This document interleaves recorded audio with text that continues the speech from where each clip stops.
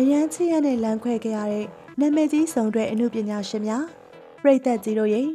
လောကမှာချစ်တိုင်းလဲမညာဆိုတဲ့အတိုင်းပဲတကယ်ချစ်ရနဲ့ကွဲခဲ့ကြတဲ့နာမည်ကြီးအမှုပညာရှင်တွေရဲ့အကြောင်းကိုပြောပြသွားမှာဖြစ်ပါတယ်။နံပါတ်1ဆိုင်းဆိုင်ခန့်လိုက်တဲ့ဝတ်မုံရွှေပရိသတ်ကြီးအားလုံးလည်းသိထားတဲ့အတိုင်းအစိုးရဆိုင်းဆိုင်ခန့်လိုက်တဲ့ဝတ်မုံရွှေတို့မှာငယ်စစ်ဦးတွေဖြစ်ကြပြီးမအောင်မြင်ခင်ကာလတစ်လျှောက်လုံးတဦးကိုတဦးကူညီဖေးမခဲ့ပြီးအောင်မြင်ပြီး ပြတ်သွားတဲ့အထိအမှုပညာအလုပ်တွေအတူတူလုပ်ကိုင်ရင်ပွဲတွေများလည်းအတူတူတက်ကြလိမ့်ရှိပါတယ်။အဆိုတော်ဆိုင်ဆိုင်ခန့်လိုက်ဟာတခေတ်တခါက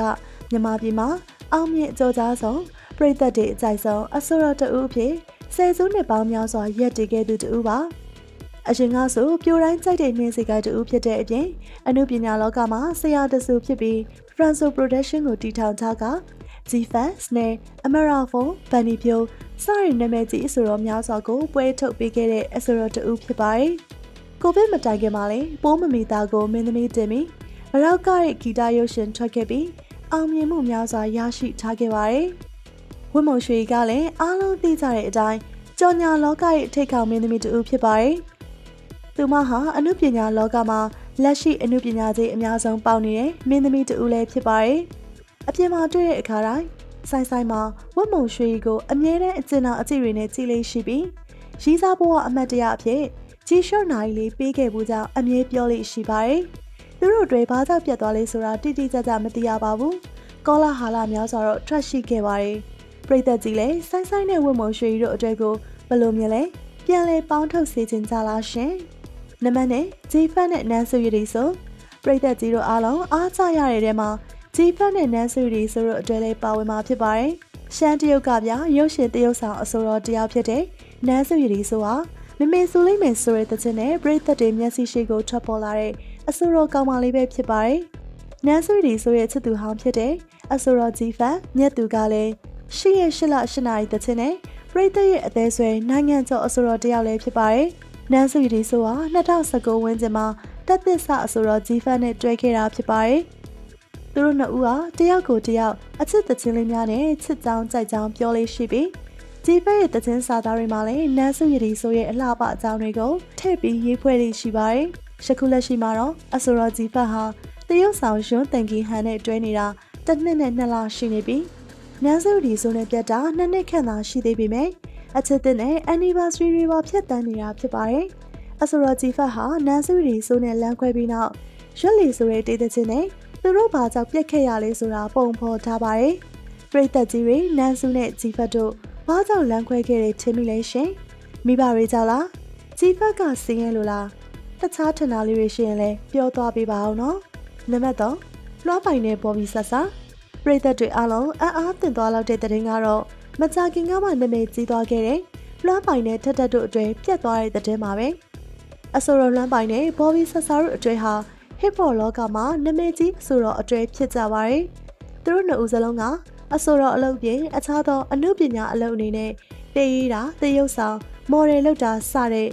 အမှုပညာနယ်ပယ်အသီးသီးမှာလည်းအောင်မြင်မှုရရှိထားတဲ့လူငယ်အတွေ့လေးပဲဖြစ်ပါတယ်။မကြသေးခင်ကပဲလွှမ်းပိုင်တဲ့ဘော်ဘီဆက်စာပြတ်တဲ့တဲ့င်းကြောင့်အဆိုတော်လွှမ်းပိုင်ကိုဝေဖန်မှုများစွာရှိနေပါတယ်။73နှစ်ကြာလွှမ်းပိုင်နဲ့တွဲပြီးတဲ့နောက်မှာ22နှစ်အရွယ် DJ ကောင်လေးနဲ့တွဲသွားတာဖြစ်ပါတယ်။ တချို့သောအနုပညာရှင်အတိုင်းဝိုင်းတွေကလူတွေကတော့ထက်ထက်ကစဖောက်ပြန်လာတယ်။သူ့ကောင်လေးအစ်စ် Max Robin ဆိုတဲ့ကောင်နဲ့လွှမ်းပိုင်နဲ့မပြတ်ခင်ကလေးကခိုးတွဲနေရတဲ့ကိုလွှမ်းပိုင်နဲ့တရဝင်မပြတ်ခင်ကလေးကကြောက်မြောင်ကင်းကော်ဖီကိုအဲ့ကောင်နဲ့နေတိုင်းလာထိုင်နေတာသိပြီးသားဆိုပြီးထက်မြက်အောင်အကောင့်ကနေရေးသားထားပါတယ်။ဒါတွေမကသေးပဲလွှမ်းပိုင်နဲ့တွဲနေစဉ်အတွင်းမှာလေထက်ထက်ရဲ့ရီးစားအစ်စ်ဖြစ်တဲ့ DJ Max Rubin ကသူ့ရဲ့လူမှုကွန်ရက်အကောင့်ကနေ တခြားတယောက်နားမှာရှိနေပေမဲ့ကိုယ့်စီစိတ်ရောက်နေတာမျိုးဆိုရင်တော့ကြိုက်တယ်။စားတဲ့ဖောက်ပြန်ရေးစကားလုံးများကို share ထားတာတွေ့ရပါတယ်။ Max Robin ဆိုတဲ့ကောင်လေးကတော့အခုတလုံးမှာနာမည်ကြီး DJ တယောက်ဖြစ်ပြီးပြိုတိုင်းကြိုက်တဲ့နေစီကိုင်းလေးဖြစ်နေသူတူပါ။ဒါအပြင် Max Robin က Bobby Sasa ဆိုတဲ့ထက်ထက်ရဲ့အမှုပညာနာမည်ကိုပခုံးနှစ်ဖက်မှာတက်တူးထိုးပြီးစစ်သက်တည်ထူထားပါတယ်။ဒါဆိုပြိသက်ကြီးတို့ရဲ့လွမ်းပိုင်နဲ့ Bobby Sasa တို့ကဘာကြောင့်လမ်းခွဲခဲ့ကြတာလဲ။ လွမ်းပိုင်ကပဲတကယ်ချစ်လို့သူစပြတ်ခဲ့တာလားဘော်ဘီဆဆာကပဲဖောက်ပြန်လို့ပြတ်သွားတာလားပရိသတ်ကြီးရဲ့အမြင်ကိုအောက်မှာရေးသွားပေးပါဦးနံပါတ်၄ဗန်နီဖြိုးနဲ့ဟန်နာရီရီအတန်ချူချူအေးလေးနဲ့အဆိုတော်လို့ပြောတာနဲ့ဗန်နီဖြိုးကိုပြင်းပြင်းရလောက်တဲ့အထိဗန်နီဖြိုးကအောင်မြင်မှုတွေကိုသိမ်းပိုက်ထားသူပါဗန်နီဖြိုးကအဆိုတော်တယောက်ပင်မဟုတ်ပဲကာရော့ဘိုင်ဗန်နီဆိုတဲ့ fashion brand တစ်ခုကိုတည်ထောင်ထားပါတယ်ကာရော့ဘိုင်ဗန်နီဆိုတဲ့ clothing brand ဟာဆိုရင်လေကမ္ဘာကျော်ရုပ်ရှင်ဖြစ်တဲ့ Star Wars နဲ့လည်းပူးပေါင်းထုတ်ထားပါသေးတယ်ဗန်နီဖြိုးပြည်သက်တွေသိကြတဲ့အတိုင်းလူပြိုကြီးဗန်နီဖြိုးဟာ FB ဘွားနဲ့နေလာတာအတော်ကြာနေပါပြီ။တချို့ဆိုဗန်နီဖြိုးကိုရေးစားမထားဘူးမှန်းတော့သိမှာမဟုတ်ကြပါဘူး။တကယ်တော့ဗန်နီဖြိုးကဟန်နာယူရီဆိုတဲ့ကောင်မလေးနဲ့ချစ်သူဖြစ်ခဲ့မှုပါတယ်။ဟန်နာယူရီကိုဗန်နီဖြိုးရဲ့ music video တွေမှာတွေ့ရလိမ့်ရှိပါတယ်။အဆိုပါမိန်းကလေးဟန်နာယူရီဟာ social influencer တူဖြစ်ပြီးကိုရီးယားနိုင်ငံမှာနာမည်ကြီးသူတစ်ယောက်ဖြစ်ပါတယ်။အင်တာနက်စပေါ်ကားစားတော့ငါဆိုသူတို့အတွေ့ကိုအားချခဲ့တဲ့သူများစွာရှိပါတယ်။ဗန်နီဖြိုးနဲ့ဟန်နာယူရီဘာကြောင့်ပြတ်သွားမှမသိပေမဲ့ဗန်နီဖြိုးကဆိုရှယ်မီဒီယာမှာသူ့ဘက်ကစတင်ပြည့်စဲကြောင်းကြေညာခဲ့တာပါ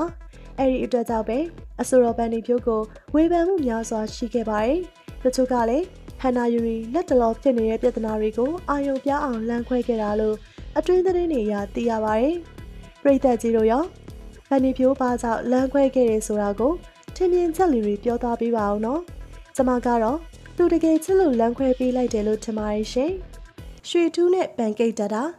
အဆိုတော့ရွှေထူးလို့ပြောလိုက်ရင်တော့မသိသူမရှိတော့ပါဘူး။ရွှေထူးဟာလက်ရှိမှာအအောင်မြင်ဆုံးနဲ့ပြိသက်အားပေးအခမ်းအဆုံးအဆိုတော်တယောက်ဖြစ်နေသေးပါ။ ကျမတို့ဖုန်းတွေပေါ်ကစားကရွှေထူးရဲ့ Crash the Chilling နဲ့ဖီးခဲ့တာကိုမှတ်မိသေးလားရှင်။တေးတန်ရှင်ရွှေထူးဟာ2014ခုနှစ်ကစပြီးအနုပညာလောကတွေကိုစတင်ဝင်ရောက်လာခဲ့သူပါ။တာမန်ဆင်းရဲတဲ့မိသားစုလေးကနေမွေးဖွားလာပြီးအခုဆိုရင်ပြည်သက်တွေအားပေးတဲ့ရွှေထူးဆိုတဲ့နာမည်ကြီးအဆိုတော်တယောက်ဖြစ်လာတာပဲဖြစ်ပါတယ်။ရွှေထူးရဲ့ပြည်သက်အရင်ကြီးတွေဆိုရင်ရွှေထူးရဲ့အရင်အချစ်တချင်းမှန်သမျှဟာသူ့ကောင်မလေးပန်ကိတ်ထတာအတွက်ဆိုထားမှန်းသိကြမှာပါ။ အင်တာနက်ပေါ်ကစားကားဆိုသူတို့အတွေ့ကိုအားကြတဲ့သူတွေအများကြီးပါပဲ။ရွှေထူးနဲ့ပန်ကိတ်တို့ကလည်းတဲတဲလို့တကယ်ချစ်ခဲ့ကြပြီးရွှေထူးအချစ်တချင်းတိုင်းစားသားတိုင်းမှာထဲဆိုခံရလောက်တဲ့အထိဖြစ်ခဲ့ပါတယ်။နောက်ပြီးရွှေထူးကပန်ကိတ်တရာနဲ့အမတ်တရစစ်တူတက်တူးများစွာလည်းရှိပါတယ်။ ရွှေထူးကပန်ကိတ်နဲ့လန်ခွဲချောင်းကိုသူ့ရဲ့လူမှုကွန်ရက် Facebook အကောင့်ကနေပြီးတော့2018 9လပိုင်းလောက်မှာကြေညာခဲ့တာပဲဖြစ်ပါတယ်။ကျွန်တော်ကျွန်တော် relationship ကပြတ်သွားပြီဗျ။ကျွန်တော် relationship ကတော့ပြီးသွားတာကြာပါပြီ။နောက်ပြီးရွှေထုကအဆုံးထိတိုင်ပန်ကိတ်ကသူ့အပေါ်အရန်ကောင်းကြောင်းနဲ့သူမဘက်ကဘာမှအပြစ်မရှိကြောင်း ရွှေထုဘက်ကသာအမားတွေလုပ်ခဲ့တာဖြစ်ကြောင်းကိုရွှေထုအကောင့်မှာတင်ထားတာပဲဖြစ်ပါတယ်။သူတို့နှစ်ယောက်ချစ်သူတက်တန်9နှစ်အထိတွဲပြီးမှဘာလို့ပြစ်ခဲ့တာလဲ။ပြည်သက်တွေကတော့သူတို့နှစ်ယောက်ဟာ LDRS တွေဖြစ်နေတဲ့အတွက်ကြောင့်တယောက်ကိုတယောက်အကြာကြီးနေမှတစ်ခါတွေ့လို့ပြက်ကြရဲလို့ပြောကြပါရယ်။တန်ကိတ်တတာဟာရွှေထူးမအောင်မြင်ခင်ပြက်စီးစဉ်ကာလတွေကတွဲခဲ့တာဖြစ်ပြီးရွှေထူးဘဝကိုပြောင်းလဲပေးခဲ့တဲ့သူဆိုရင်လည်းမမှားပါဘူး ရွှေထူးဟာပန်ကိတ်တတာနဲ့ပြက်ပြီးမကြခင်မှာပဲတရုတ်ဆောင်ရွှေမုံရတီနဲ့တွဲခဲ့ပြီးလာပိုင်းလေးအတွင်းမှာလည်းအားလုံးမထမှတ်ထားလိုက်ရအောင်သူတို့နှစ်ဦးမှာအချိန်တိုလေးအတွင်းနှစ်ဖက်မိဘသဘောမတူတဲ့ကြားကလက်ထပ်သွားတာပဲဖြစ်ပါတယ်။ဒါကြောင့်လေရွှေမုံရတီကိုဝေဖန်မှုတွေများခဲ့ပြီးသူများရေးစားကိုခိုးရသူဆိုပြီးတိုက်ခိုက်ခံရပါသေးတယ်။ပန်ကိတ်ကတော့သူတို့ချစ်ရင်နဲ့ပတ်သက်ပြီးဘာမှမပြောဘဲမှတ်ချက်မပေးပဲတင်းငိမ်စွာပဲဖြေရှင်းခဲ့ပါတယ်။ သူတို့ရဲ့အိမ်မက်လေးဖြစ်တဲ့ပြင်သစ်နိုင်ငံပဲရစ်မြို့လေးကိုလည်းမသွားပြစ်တော့ပါဘူး။ပြည်သက်ကြီးတို့ရောဦးလင်းကြီးနဲ့ပန်ကိတ်တတာတို့ဘာကြောင့်ပြတ်သွားတယ်ထင်ကြလေးရှင်။နမေကြီးဆိုတော့ရဲရင်အောင်နဲ့မော်ဒယ်တရုတ်ဆောင်တင်စာနယ်ဝင်းတို့အတွက်ပြတ်သွားတဲ့တဲ့င်းကလူမှုကွန်ရက်တွေပေါ်မှာတကယ်ဟိုးလေးတကြောကြောဖြစ်ခဲ့ပါတယ်။ငါနေရလွမ်းလွန်းလို့စရတဲ့ချင်းတွေနဲ့ပြိသက်တွေရင်ထဲကိုစရောက်လာတဲ့အဆိုတော်ရဲရင်အောင်ဟာ လူငယ်ပြိသက်တွေအခိုင်အမာရရှိထားတဲ့အဆိုတော်တယောက်ဆိုလဲမမှားပါဘူး။သူ့ရဲ့တီထွင်စမ်းသစ်တဲ့အမှုပညာစွမ်းရည်ကြောင့်ဂီတလောကမှာဆရာတဆူလို့လည်းဆိုနိုင်ပါတယ်။ရဲရင်အောင်ဟာအဆိုတော်အလုတ်သားမက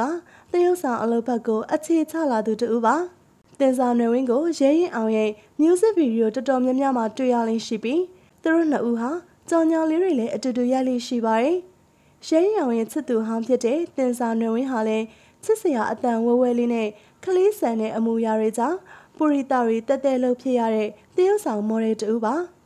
အဆိုတော်ရရင်အောင်နဲ့တရုတ်ဆောင်တင်စာနယ်ဝင်းတို့ရဲ့အခြေအဟာမဖြောင့်ဖြူခဲ့ပါဘူး။သူတို့နှစ်ဦးဟာအခြားအနုပညာရှင်အတွေ့အပြက်ခဲ့တယ်လို့မဟုတ်ပဲမလမပဆက်သိမ်းသွားတဲ့အချစ်ဇလန်းလေးတစ်ပုဒ်ပါ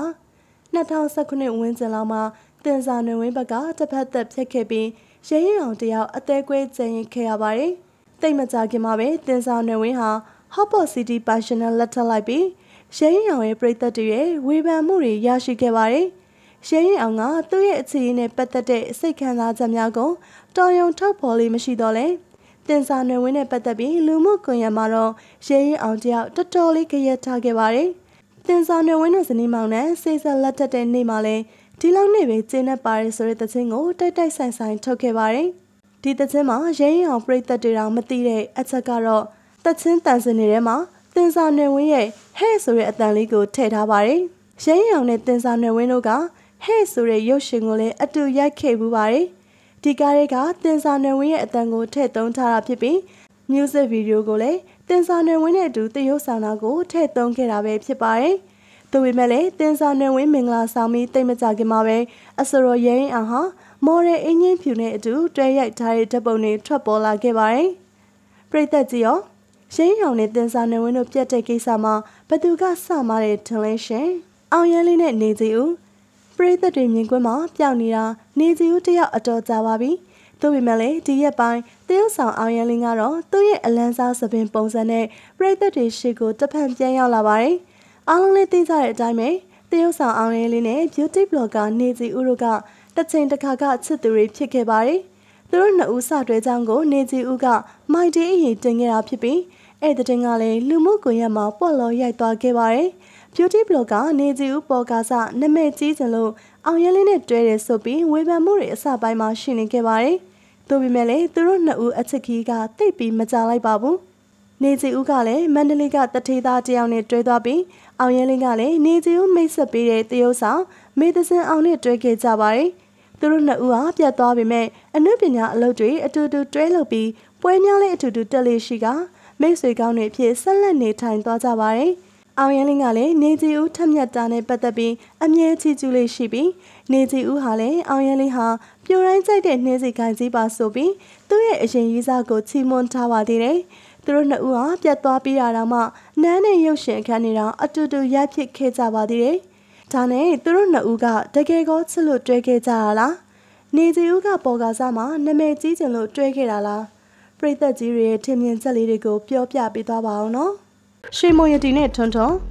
ရွှေမုံရတီကတော့ကျမတို့အားလုံးရဲ့အသေးကျော်ချစ်ချစ်မင်းသမီးလေးတစ်ယောက်ပဲဖြစ်ပါတယ်ကိုလက်ကိုချီစူးစမ်းနေပြီးအသက်ငယ်ငယ်လေးမှာပဲအမှုပညာလောကထဲမှာထိတ်တန်းမင်းသမီးတစ်ယောက်ဖြစ်လာသူတူပါအသက်14နှစ်နဲ့အမှုပညာလောကထဲမှာအမှုပညာမျိုးရိုးမရှိဘဲဝင်လာခဲ့ပြီးအသက်24နှစ်မှာပဲအကယ်ဒမီရရှိခဲ့တဲ့ငငယ်ရွယ်အောင်မြင်နေတဲ့အမှုပညာရှင်လေးတူဖြစ်ပါတယ်။ လက်ရှိမှာတော့အဆိုတော်ရွှေထူးနဲ့အိမ်အောင်ကြထားပြီးအဆိုတော်ရွှေထူးဟာလည်းအကယ်ဒမီဆုကိုရရှိထားတဲ့အောင်မြင်တဲ့ထိပ်တန်းအဆိုတော်တရုတ်ဆောင်တယောက်ပါရွှေမုံရတီနဲ့ထွန်းထွန်းတွဲခဲ့ဘူးတာမြန်မာနိုင်ငံမှာတော်တော်များများကမသိကြပါဘူးရွှေမုံရတီ18နှစ်အရွယ်အောင်မြင်ကစားတော့ကအိစမဲ့ဖွင့်ဝင်ထွန်းထွန်းနဲ့တွဲခဲ့ပူပါတယ်။အဲဒီတုန်းကရွှေမွန်ရတီဟာအသက်ပင်မပြည့်သေးပဲထွန်းထွန်းကတော့အဲဒီအချိန်တုန်းကအသက်33နှစ်ရှိနေပါပြီ။ အနုပညာလောကကို2000ခုနှစ်တည်းကဝင်ရောက်လာတဲ့စီနီယာထွန်းထွန်းဟာအောင်မြင်တဲ့ဝါရင်တရုတ်ဆောင်အဆိုရိုလူရှင်တော်တူလည်းဖြစ်ပါတယ်။ထွန်းထွန်းနဲ့ရွှေမုံတို့တွဲနေတဲ့ကောလာဟာလာတွေအတော်ပင်အဲ့ဒီအချိန်ကထွက်ခဲ့ပြီးသူတို့နှစ်ဦးလုံးကတော့တရားဝင်ကြီးညာထားတာမျိုးမလုပ်ခဲ့ကြပါဘူး။ပထမဆုံးရွှေမုံရတီကသူ့ရဲ့ live မှာ သူ့မှာချစ်သူရှိရလို့ပြောရင်လည်းမှန်ပြီးမရှိဘူးလို့ပြောရင်လည်းမှန်တယ်ဆိုပြီးစပြောခဲ့ပါတယ်။နောက်ပိုင်းမှာတော့သူတို့နှစ်ဦးလုံးက Instagram မှာနှစ်ယောက်အတူတူနမ်းနေကြတဲ့ပုံလေးတွေတင်ပြီးပရိသတ်တွေကို surprise တိုက်ကအပီအပြင်းရူခဲ့တဲ့အတွေ့ပဲဖြစ်ပါတယ်။သူတို့နှစ်ဦးလုံးကနှစ်နှစ်ကြာတွဲခဲ့ပြီးတဲ့နောက်မှာတော့စိတ်သဘောထားခြင်းမတိုက်ဆိုင်လို့ပြတ်သွားခဲ့ကြပါတယ်။သူတို့နှစ်ဦးဟာပြတ်သွားပြီမဲ့အချိန်တော်ကြတဲ့အထိတယောက်ကိုတယောက်ချစ်ချောင်းကြိုက်ချောင်းပြောထားတဲ့ post ဟောင်းလေးတွေမဖြတ်သေးလို့ ပရိသတ်တွေကတော့ပြန်တွေးစီစဉ်ခဲ့တာပါ H Pound နဲ့ No for Alta အချစ်ရင်းနဲ့ပတ်သက်ရင်အမြဲတမ်းကြည့်ရမှုတွေအများကြီးကြုံရလေးရှိသူကတော့ကျမတို့ရဲ့အချစ်တော်လေး No for Alta ပဲဖြစ်ပါတယ်။ No for ဟာမြန်မာနိုင်ငံမော်ဒယ်လောကမှာအသက်ငယ်ငယ်လေးနဲ့အောင်မြင်ဆုံးတကယ်အလုပ်ကြိုးစားတဲ့မော်ဒယ်တယောက်ဖြစ်ုံတော့မကောရုပ်ရှင်ဇလန်တွေမှာလည်းအောင်မြင်တဲ့တရုတ်ဆောင်တယောက်ဖြစ်လာပါတော့တယ်။သူ့ရဲ့ချစ်စရာတိုင်းရင်းလူမျက်နှာထားလေးကြောင့်ကော စစ်စီယာအတန်ဝဲဝဲလေးကြောင့်ရောနော်ဘောဟာမြန်မာနိုင်ငံမှာပုရိသလူငယ်ယောက်ျားလေးများရဲ့အသေးကျော်လေးတစ်ယောက်ဖြစ်နေပါတယ်။လက်တလုံးမှာလွမ်းပိုင်နဲ့တွဲနေတဲ့သတင်းထွက်ခဲ့သူတူဖြစ်ပြီးဝေဖန်မှုတွေလည်းရှိနေခဲ့ပါတယ်။ဒါပေမဲ့နော်ဘောရဲ့ပြိသက်အရင်ကြီးတွေတော့မသိသေးတဲ့နော်ဘောရဲ့သားဟာအဆိုတော် H ပေါင်းနဲ့တွဲခဲ့မှုတဲ့အကြောင်းပါပဲ။နောက်ဆုံး H ပေါက်ကိုအသေးခွဲခဲ့ပြီး H ပေါက်ရဲ့အသေးကွဲနေတဲ့တခြင်းစာသားတွေအားလုံးဟာနော်ဘောရဲ့သားကြောင့်ဖြစ်လာရတာပါတယ်။ H ပေါက်ဟာအသက်18နှစ်ကလေးကမြန်မာနိုင်ငံ hip hop လောကရဲ့ underground freestyle battle တွေမှာစတွေ့လာရပြီးဂျေးမီရဲ့တပည့်အရင်လည်းဖြစ်ပါတယ်။ဆရာဂျေးမီနဲ့တူတူတွဲလှုပ်ထားတဲ့ကတပုတ်ဖြစ်တဲ့ကိုပေါက်တခြင်းဟာအတော်လေးအောင်မြင်ခဲ့ပူပါတယ်။အရင်မပြတ်စင်တဲ့တခြင်းကတော့တနိုင်ငံလုံးဝဝက်ကွဲအောင်မြင်ခဲ့တဲ့တခြင်းပဲဖြစ်ပါတယ်။ကဲ H ပေါင်းနဲ့ Not For ရထားဒိတ်နေကြရဲဆိုတဲ့သတင်းတွေကြားရပြီး မကြခင်မှာပဲ Not For ရထားအကောက်ကနေပြီးတော့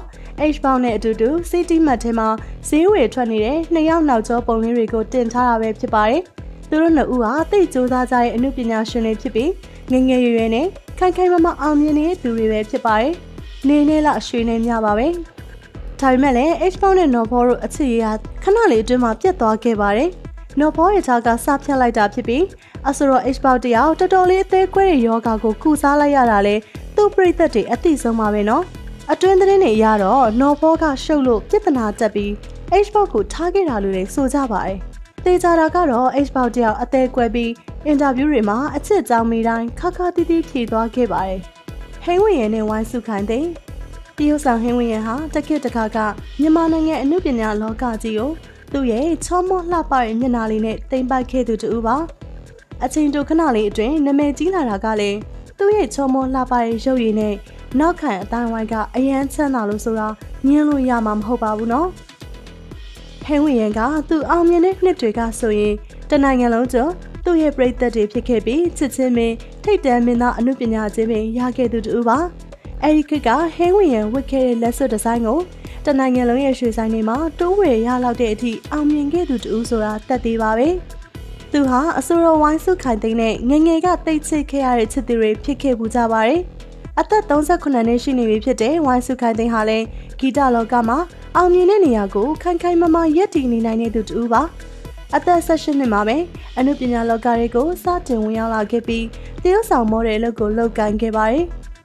ဝိုင်းစုကအဆိုဘက်မှာလည်းတကယ်ပါရမီပါတဲ့သူတယောက်ဖြစ်တာမို့အောင်မြင်တဲ့ဆိုတော်တယောက်ဖြစ်လာခဲ့ပါတယ်။ဝိုင်းစုဟာမလောက်စရာအခွေကိုပထမဆုံးစတင်ထုတ်ဝေခဲ့ပြီးမျက်လဲအဘွားခါချနေရတဲ့စားတဲ့ထွက်သမျှအခွေတိုင်းကဝဝက်ကွယ်ရောက်ကောက်ခဲ့ပါတယ်။အဆိုတော်အာဇာနည်နဲ့အတူလိုက်ဖက်တဲ့ဘွားစုံရဲတဲ့ချင်းဟာမြန်မာတနိုင်ငံလုံးပေါက်သွားပြီးနိုင်ငံကျော်အောင်မြင်တဲ့အမှုပညာရှင်တယောက်ဖြစ်လာတာပဲဖြစ်ပါတယ်။အသက်ငယ်ငယ်ရွယ်နဲ့အရာရာပြီးပြည့်စုံနေတဲ့ဝိုင်းစုတယောက်က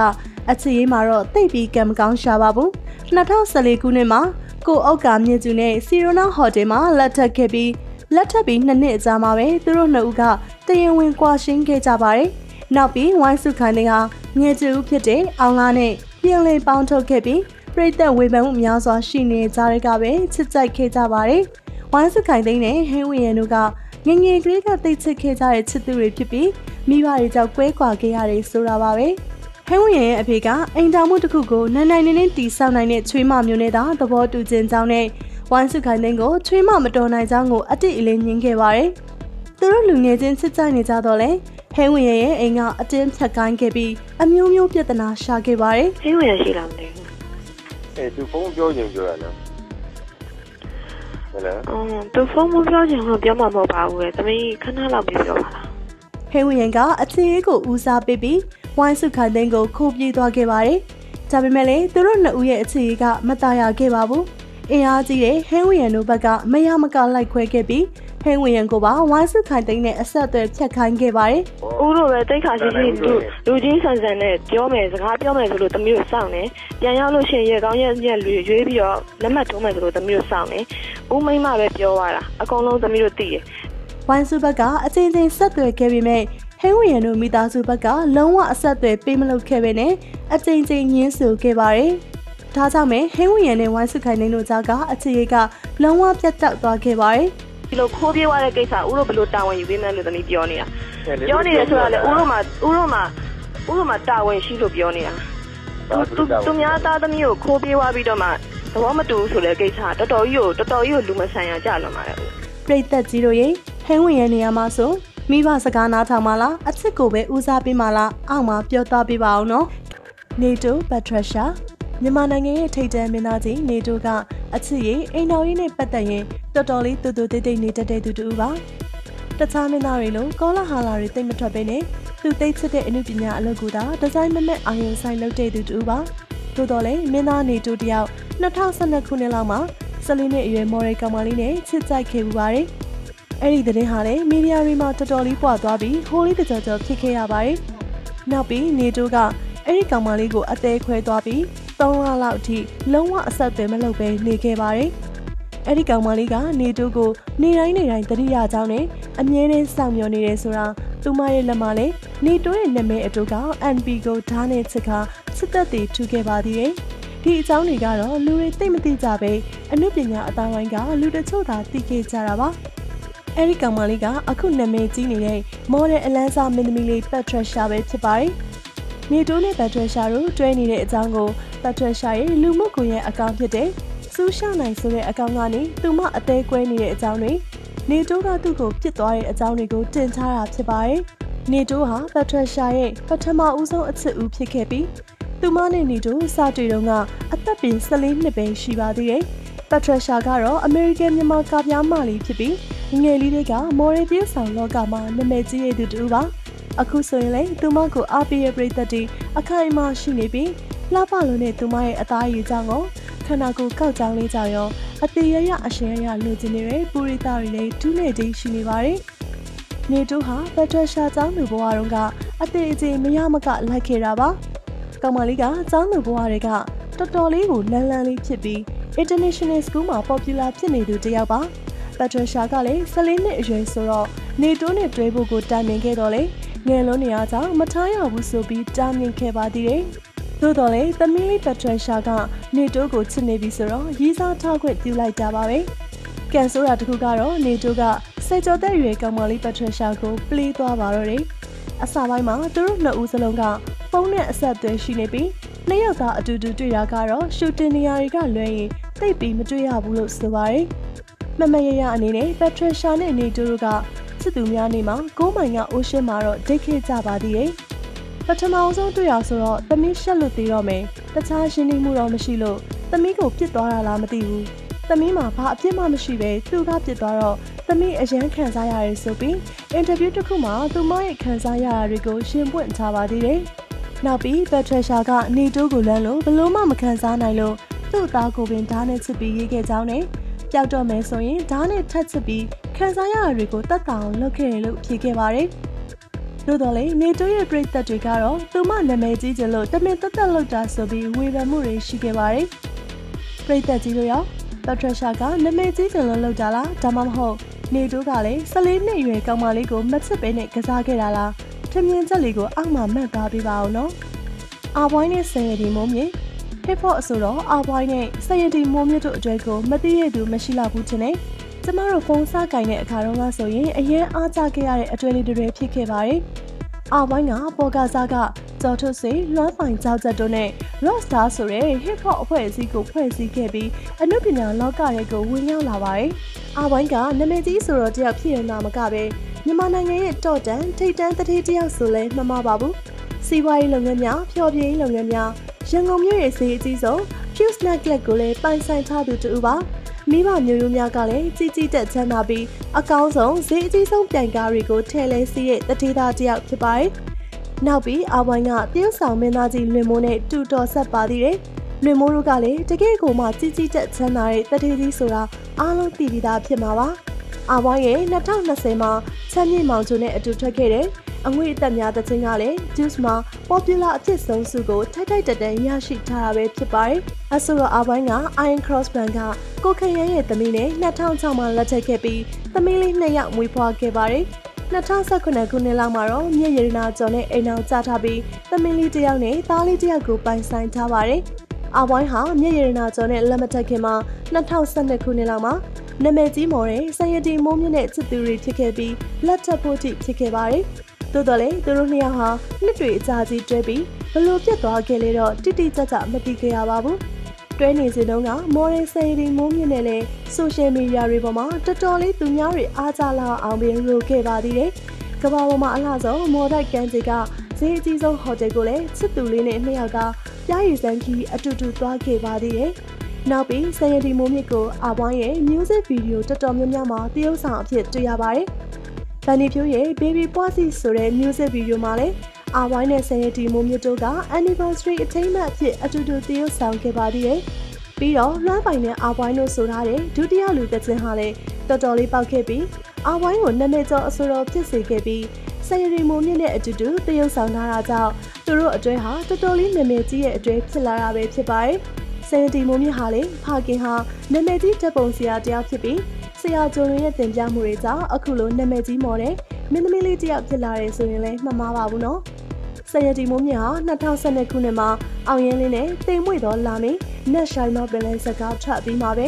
နာမည်ကျော်ပြုတ်ဆောင်မော်ရတယောက်ဖြစ်လာတာပဲဖြစ်ပါတယ်။သူမဟာအရင်ကချစ်စရာကစ်ကစ်လေးဖြစ်ပြီးအားပိုင်းနဲ့ပြက်ပြီးအသေးကွဲသွားရမှ ဂျင်းနဲ့ရှယ်ဆော့ပြီးအခုလိုသေးတွေကျစ်တဲ့ဘော်ရီမိုက်စားလေးကိုပိုင်ဆိုင်လာရတာပဲဖြစ်ပါတယ်။သူတို့နှစ်ဦးဘာကြောင့်ပြတ်သွားခဲ့ရလဲတိတိကျကျမသိရပေမဲ့ဆယ်ရတီမိုးမြင့်ကတော့ချစ်သူနဲ့ပြတ်သွားတဲ့အတွက်ကြောင့်သူမချစ်တဲ့ခွေးလေးတွေအတွက်ပိုပြီးချိန်ပေးဖြစ်တယ်ဆိုပြီးအင်တာဗျူးတစ်ခုမှဖြေသွားခဲ့ပါတယ်။ကဲဒါဆိုပရိသတ်ကြီးကဘလို့ထင်လဲရှင်။အဝိုင်းကဆယ်တင်မိုးမြစ်ကိုပြစ်သွားတာလား။သူတို့အတွဲချင်းရနဲ့ပါလို့ပြက်ခဲ့ကြတာလေ။စိုးသူနဲ့စိုးမြတ်သူစာ အကယ်ဒမီစိုးသူဟာတခစ်တခါကမြန်မာနိုင်ငံထိပ်တန်းမင်းသားတယောက်ဖြစ်ခဲ့ပါတယ်။အဲဒီခေတ်ကနာမည်ကြီးလာတဲ့ထိပ်တန်းမင်းသားတွေဖြစ်တဲ့ကျော်သူပြည်ငိမ့်တို့နဲ့အတူအပြိုင်ဆိုင်ဖြစ်ခဲ့ပါတယ်။သူ့ရဲ့ချောမောလာတဲ့ရုပ်ရည်ဆွဲဆောင်မှုမင်းကလေးတွေကြိုက်တဲ့အတန်းအတန်နဲ့မလိုက်အောင်နှုတ်ဖက်နေတဲ့မျက်နှာလေးကြောင့်ပြိုတိုင်းကြိုက်တဲ့နှင်းစီကိုင်းတလက်ဖြစ်နေတာကတော့လုံးဝအငင်းချက်ထုတ်စရာမရှိပါဘူးနော် ဆိုသူဟာတရုတ်ဆောင်အစိုးရအလုပ်တင်သားမက1996ခုနှစ်မှာစေတက်ကတူကနေပွဲရရှိခဲ့ပြီးအမေရိကန်နိုင်ငံကစေယုံနှစ်ခုမှာလည်းနှလုံးအထုခုဆရာဝန်တယောက်ဖြစ်လုပ်ခဲ့ပါသေးတယ်။နောက်ပြီးဆိုသူဟာအသေးရွက်များသာစားပြီးအသားငါလုံးဝမစားတဲ့တသက်လွတ်သမားတယောက်ပါ။ဒါကြောင့်မို့လဲသူ့ရဲ့ရုပ်ကလေးကလုံးဝမအိုတာဆိုပြီးလူပြောများနေကြပါတယ်။ ဆိုသူဟာရုပ်ရှင်ကားကြီး100ကျော်နဲ့ဗီဒီယိုဆက်ကားပေါင်း200ကျော်ကိုရိုက်ကူးခဲ့တဲ့ဝါရင်တရုတ်ဆောင်တယောက်ဆိုတာညှင်းဆက်ထုတ်စရာမရှိပါဘူး1982ခုနှစ်မှာတော့မိုက်ကြီးမိုက်ပြစ်ဆိုတဲ့ဇာတ်ကားမှာပါဝင်တရုတ်ဆောင်ခဲ့ပြီးမင်းသားဆိုသူဆိုတာတဟုန်တွန်းနာမည်ကြီးလာတာပဲဖြစ်ပါတယ်တရုတ်ဆောင်မင်းသားဆိုသူဟာလက်ရှိမှာတော့မင်းသမီးစိုးမြတ်နန္ဒာနဲ့တွဲနေပြီးတာယာတဲ့အချစ်ကြီးလမ်းလေးကိုရှောင်လန်းနေရပဲဖြစ်ပါတယ် ဆိုသူရဲ့ပြည့်သက်တွေကမသိသေးတဲ့အချက်ကတော့တစ်ချိန်တစ်ခါကရုပ်ရှင်မင်းသမီးကြီးစိုးမြတ်သူစားနဲ့ငယ်ချစ်တွေဖြစ်ခဲ့ကြရဆိုတာပါပဲအဲ့ဒီအချိန်တုန်းကမင်းသမီးစိုးမြတ်သူစားကပေါ်ကားစားဖြစ်ပြီးစိုးသူကတော့နာမည်ကြီးပြီးသားထိတ်တဲမင်းသားတစ်လက်ဖြစ်နေပါပြီစိုးမြတ်သူစားဟာလည်းသူခေတ်တုန်းကနိုင်ငံသားဆန်လာတဲ့အလှပတွေလွှမ်းမိုးလာတဲ့အချိန်မှာမြန်မာဆန်ဆန်ရုပ်ရည်ခန္ဓာကိုယ်အချိုးအစားမျိုးရှိတဲ့သူမဟာပူရိတယောက်ျားတွေကြားထဲမှာအတော်လေးပေါ်ပြူလာဖြစ်လာခဲ့ပါတယ် မင်းသားဆိုသူဟာလည်းမြန်မာနိုင်ငံမှာထိတ်တန်မင်းသားတစ်လက်ဖြစ်နေချိန်မင်းသမီးဆွမြတ်သူစားကလည်းအဲ့ဒီခေတ်ကသူ့စီနီယာမမိုးမြောင်တို့နဲ့ရှင်းပြီးအပြိုင်နာမည်ကြီးနေတဲ့အချိန်မှာသူတို့နှစ်ဦးဟာစစ်သူတွေဖြစ်ခဲ့ကြတာပါပဲ1993ခုနှစ်မှာမင်းသားဆိုသူနဲ့အချစ်တို့ကိုပြီးတော့ဆိုတဲ့စကားကြီးရိုက်ပြီးမှသူတို့နှစ်ဦးဟာတန်ရုံးစင်ဖြစ်ပြီးစစ်သူတွေဖြစ်သွားကြတာလို့ပြောကြပါတယ်မင်းသားဆိုသူဟာစုံမြတ်သူစားနဲ့ချစ်သူတွေဖြစ်နေရင်ကြမ်းလန်းနေပဲအမေရိကန်နိုင်ငံကိုထွက်သွားခဲ့တာပါ မင်းသမီးစုံမြတ်သူစားတယောက်စိုးသူထားခဲ့တာကိုခံခဲ့ရတာပါအမေရိကန်နိုင်ငံမှာတော့မင်းသားဆိုသူဟာဒေါ်ခင်မြမြဝတ်မုံဆိုတဲ့အမျိုးသမီးနဲ့လက်ထပ်ခဲ့ပြီးသမီးလေးတစ်ယောက်ရရှိခဲ့ပါတယ်။သို့တော်လည်းမင်းသားဆိုသူဟာဇနီးပင်နဲ့ကွာရှင်းထားတာပဲဖြစ်ပါတယ်။2012ခုနှစ်မှာတော့မိခင်ရဲ့ပြန်ခေါ်မှုကြောင့်မြန်မာပြည်ပြန်လာခဲ့ပြီးသူ့ရဲ့အမှုပညာအလုပ်တွေကိုပြန်လည်လုပ်ကိုင်ခဲ့ပြီးတကူတော်ရှိုးပွဲကိုသုံးပွဲတိတိလုပ်ခဲ့ပါသေးတယ်။ နောက်ပြီးပြည်သက်အများစုကတော့မင်းသမီးစုမြတ်သူစားနဲ့ပြန်ပတ်သက်ပြီးတွဲနေတဲ့ဆိုတဲ့ဝေဖန်မှုတွေရှိခဲ့ပြီးမြဲဆိုသူဟာစုမြတ်သူစားရဲ့ညီမအရင်စိုးမြတ်နန္ဒာနဲ့တွဲသွားတာဖြစ်ပြီးတတိုင်းတစ်ပြည်လုံး surprise ဖြစ်သွားခဲ့ရပါတယ်။ဆိုသူဟာရှာမရှာမြန်မာနိုင်ငံမှာညီမနှစ်ယောက်လုံးနဲ့ချစ်သူဖြစ်ခဲ့မှုတဲ့တူရဲတော်မင်းသားဖြစ်ပါတယ်။ကဲပရိသတ်ကြီးတို့ရဲ့အရှင်ဘတ်တွေကတကယ်ချစ်ရနဲ့꿰ခဲ့ကြတဲ့အတွေ့အကြုံတွေအကြောင်းအပိုင်းတစ်နှစ်သုံးကိုအောက်ကကွန်မန့်မှာလင့်ပေးထားရနော်။ နောက်ဘက်တွေမှာလည်းတင်စေခြင်းတဲ့အတွဲလေးတွေရှိရင်ကွန်မန့်မှာမှတ်သွားပေးကြအောင်နော်။